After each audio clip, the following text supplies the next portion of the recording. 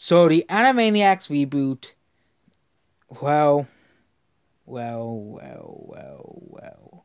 The Animaniacs reboot, they were going so well until they gone woke. Okay? Everybody was excited for this because Animaniacs is a very classic cartoon by Warner Brothers. It's not owned by Disney. Okay? But guess what they did in the Animaniacs reboot?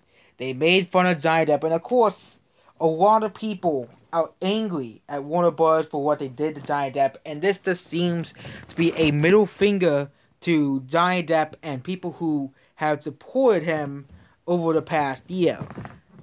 So, Animaniacs reboot under fire for a reportedly time, unfortunately timed Johnny Depp joke. Johnny Depp telling lies joke. Of course, there's lots of other and very, very bad and woke jokes and Animaniac jokes. Like, there was an episode where they, where they really make fun of Donald Trump.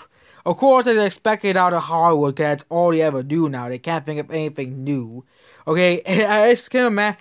Once I wonder when when Trump is no longer president, what what what will they do? They can't make fun of him anymore. Okay, and they'll have they'll have to they can't make fun of him anymore because he's no longer the president which would be absolutely hilarious. And see and so and see how poorly they're making fun of the pre- making fun of Donald Trump. How poorly how how poorly it will AIDS as well. So yep. Animaniacs reboot is in big, big, big, big, big, big, big trouble as a galaxy, and it's a newly produced Hulu reboot.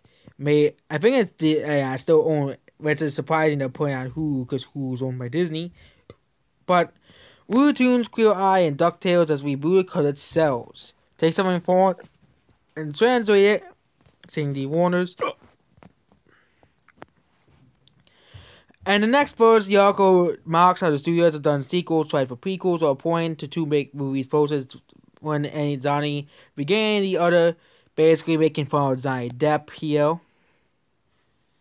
You know, Johnny 2, Johnny Depp, Johnny 2 telling lies here, and it's just absolutely ridiculous here as well. So unfortunately, animated this began production in 2018. The joke was aired less than three weeks before after the UK court ruled against Depp against his against his rival case against tabloid The Sun, which found a, which found him you know stuff like that. But it's just all the people who like Johnny Depp, who all the people, which is the majority of people who are, who supported Johnny Depp, only like Twitter were the ones who were supporting Amber Heard, and people who absolutely, you know, are not, you know, basically the five people on Twitter and the mainstream media.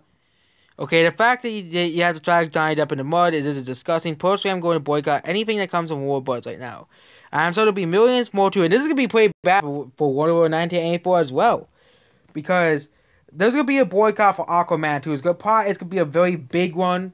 And yes, people are still buying the first movie on Amazon, but the first movie came out before the the stuff came around. So was in production before the stuff came around. You know, that stuff came around, and yep, this is gonna be pretty bad for Warner Bros. over the past next few years. They're not as in a bad spot probably as Disney is, but they're gonna be pretty bad if this is a pretty bad spot if they keep you know doing this. You know, you know I was warning the Animaniacs for being too political, but now they're telling that they mocked Johnny Depp, who got you know part of his finger caught by Amber Mann, who was ignored by countless proof in his favor. I'm disgusted, which is true. He the basically the court the basically ruled in favor for Twitter, which is absolutely sad. And Of course, if it was in the U.S., I bet they would probably rule in favor for Johnny Depp. But of course, it's the UK. The UK is the UK. They just do weird things in the UK. The UK is a weird country. This is why we're not a part of the UK anymore because that's because the UK is just a weird country. It is. There's a reason why we're separate from them because the UK is much more different than us. And yep, there we go. That's basically it. Goodbye.